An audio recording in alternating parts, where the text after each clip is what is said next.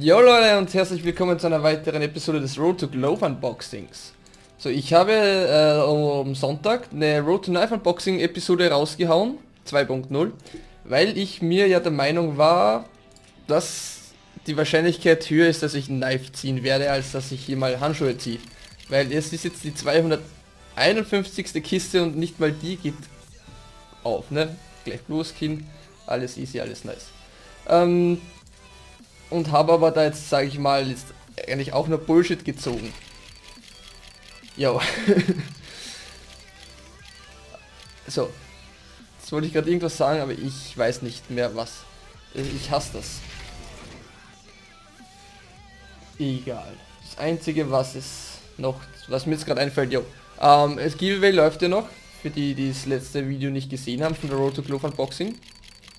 Äh, gibt es ein Giveaway, 3 MP7 Bloodsports gehen raus an euch. Könnt ihr euch reinziehen, wer es noch nicht gemacht hat.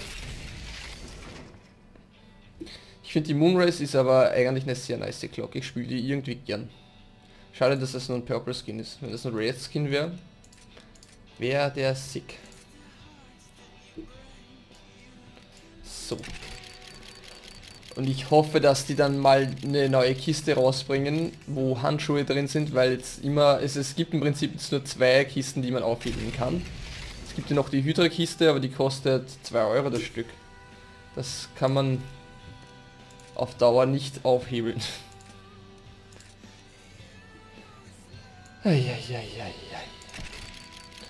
Und ich werde es auch in Zukunft halt immer so machen, dass ich ähm, mich jetzt abwechseln werde zwischen Road to Glove Unboxing und Road to Knife Unboxing 2.0 und werde bei dem Road to Knife einen extrigen Counter starten, damit ich dann einfach sehen kann, okay, da habe ich jetzt dann wieder so und so viele Kisten gebraucht und für die Handschuhe habe ich dann so und so viele Kisten gebraucht, falls ich irgendwann mal Handschuhe ziehe. Weil es sind ja, wie gesagt, schon über 250 Kisten. 256 glaube ich jetzt. Das macht keinen Spaß mehr. Wenn man sich dann mal ausrechnet, was man da schon ausgegeben hat für die Keys und die Kisten und welche Handschuhe man sich da jetzt über dieses Geld schon kaufen könnte. Ist etwas bitter. Aber that's the life, ne? Die USB wird auch schon nice gewesen in Stat Track hätte ich mich auch drüber gefreut.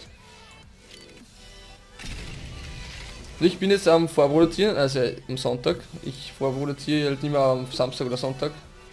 Und habe jetzt sozusagen die Road to Knife Unboxing, die 10 Kisten habe ich jetzt vorhin jetzt aufgehebelt und nach dem, was ich da ziehe, also da gezogen habe, nach dem, was ich jetzt hier ziehe, ähm, ja, lol.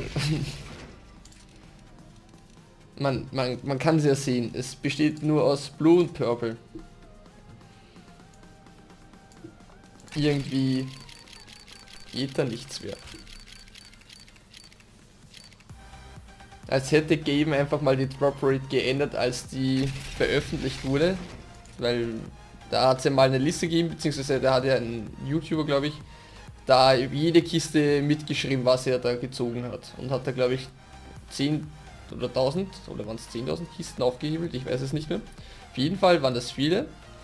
Und da hat es sich halt sozusagen eine Tabelle gemacht, wo man dann halt sagen konnte, okay, die Wahrscheinlichkeit, einen Red Skin zu ziehen, liegt bei so und so, ein Pink Skin liegt bei so und so und ein Knife liegt bei so und so viel. Und als das dann halt irgendwie rauskam, gingen, ist meiner Meinung nach die Drop Rate von allen Skins irgendwie runter. Jetzt sieht man nur noch Bullshit. Oder ist es nur bei mir so? ah, wie. Ja gut, dann war es dann auch wieder mit dem Video. Ähm, wie gesagt, das Giveaway läuft noch. Schaut einfach bei der letzten Road to Glove Unboxing Folge vorbei. Und ähm, über einen Daumen nach oben würde ich mich freuen.